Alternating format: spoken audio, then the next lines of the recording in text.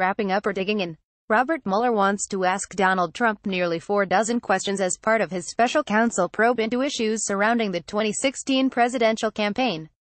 However, the questions leaked to the New York Times also include potential landmines about hints at a pardon for Michael Flynn, the firing of James Comey, and even the 2013 Miss Universe trip to Moscow among other Russia issues. While the president is still said to not be a target of the investigation, the questions Mueller wants to ask certainly have the potential to move him into that status. President Trump's lawyers reportedly received several questions that special counsel Robert Mueller wants to ask the president.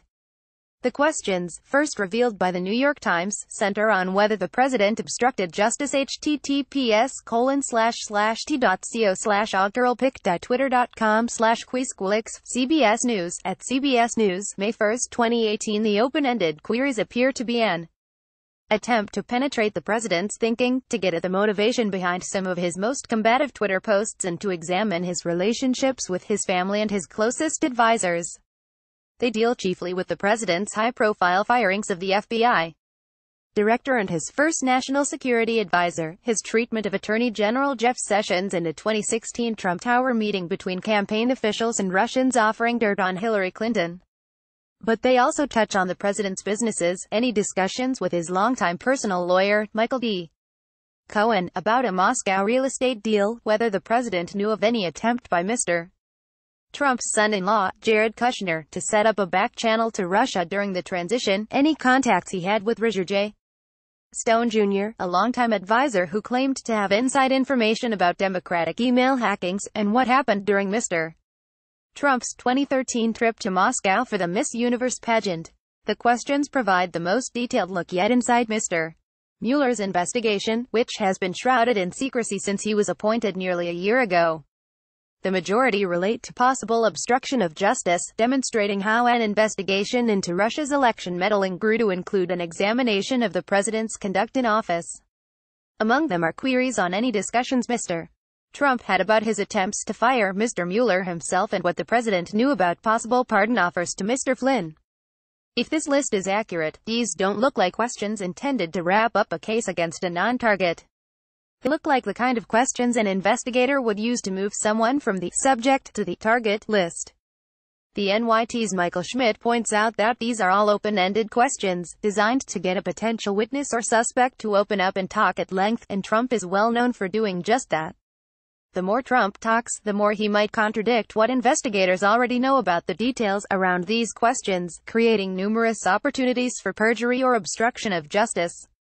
That's the nature of those questions. The substance of the questions also show that Mueller and his team want to dig as much as they can to find potential obstruction charges.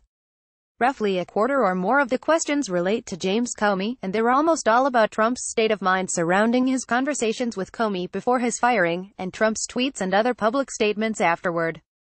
There are also several about Jeff Sessions and Trump's assumption that his ag would protect him. Beyond obstruction issues, Mueller also still has the core mission of his appointment in mind with regard to Trump. He will ask what Trump knew about the meeting with Natalia Veselnitskaya in Trump Tower, his contacts on the 2013 trip to Moscow, discussions during the campaign about meeting with Vladimir Putin, and more. For instance, this question suggests that Mueller hasn't given up on Paul Manafort as a point man for potential collusion. What knowledge did you have of any outreach by your campaign, including by Paul Manafort, to Russia about potential assistance to the campaign? This is one of the most intriguing questions on the list. It is not clear whether Mr. Mueller knows something new, but there is no publicly available information linking Mr. Manafort, the former campaign chairman, to such outreach. So his inclusion here is significant. Mr. Manafort's longtime colleague, Rick Gates, is cooperating with Mr. Mueller. That points out something that Trump should keep in mind, which is that even for an innocent man, this is a dangerous list of questions. Trump and his legal team don't know what Gates, Flynn, and George Papadopoulos have already told investigators, or whether they've stuck to the truth. They also don't know what others may have told Mueller's team, and what might have been picked up by people who may have worn wires during the probe. These questions are landmines, and there may not be any easy way to pick through them without taking serious legal damage.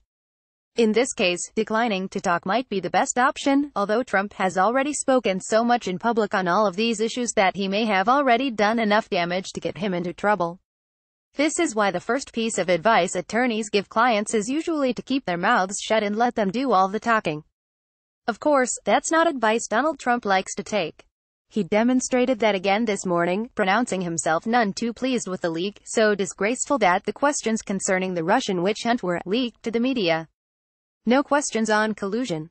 Oh, I see, that you have a made-up, phony crime, collusion, that never existed, and an investigation begun with illegally leaked classified information. Nice, Donald J. Trump, at Real Donald Trump, May 1, 2018 A disgrace? Probably, yes, but by whom? Presumably Mueller has had this list in hand for months, hoping to use them directly with the president in an interview, at some point.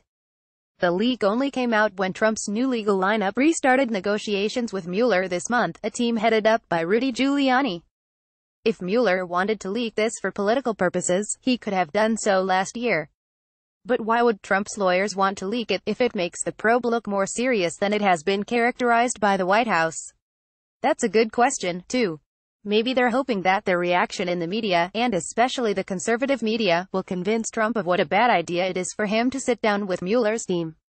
If that list of questions doesn't do it, nothing will.